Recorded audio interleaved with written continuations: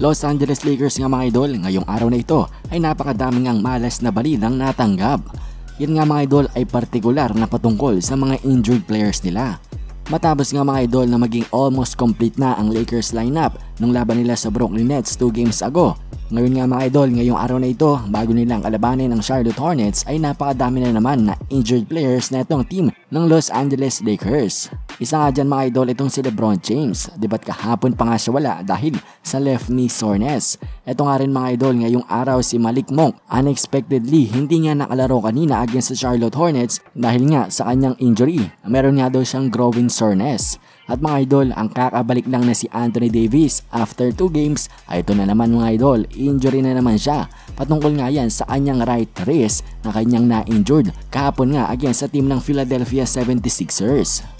Nung nakaraang niya mga idol, isang player na lamang ang nasa injured list ng Lakers. Ngayon mga idol, apat na naman sila. At ang masama pa nga niyan mga idol ay hindi ang kanilang mga role players, kundi ang kanilang dalawang superstar at isa pa nilang magaling na player na si Malik Monk.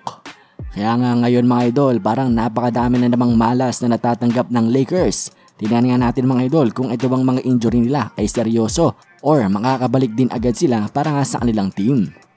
At sa ating next news nga mga idol, ang team ng Sacramento Kings na hayok na hayok ngang kunin. Itong si Ben Simmons mula sa Philadelphia 76ers ay mukhang nagsawa na nga. Mukhang nagtampo nga sila mga idol sa team ng Philadelphia matapos nga na mag-offer sila ng ilang beses tapos ni-reject lamang.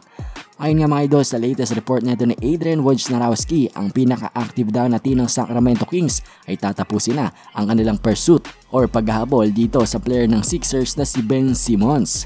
Hindi na nga daw sila interesado mga idol matapos nga na ilang beses silang tanggihan netong Philadelphia at sa tingin ko naman mga idol ay maiintindihan ng bawat isa yan dahil napakagrabe nga kasi ng asking price netong Sixers kay Ben Simmons. Gusto nila mga idol minimum na tatlong first round pick sa every team na nag-acquire nga kay Simmons. At obviously mga idol sobrang dami nga nun para dito kay Ben Simmons na hindi naman considered na isa sa mga pinakamagaling talaga na NBA player ngayon sa NBA. Kaya nga mga idol, expected na rin ito na Sacramento Kings titigil na. Susuko na nga dito sa superstar na itong Sixers na si Ben Simmons. At yan nga lamang din muna mga idol para sa ating mga balitang NBA ngayon. Maraming nga salamat sa inyong panonood. Bye!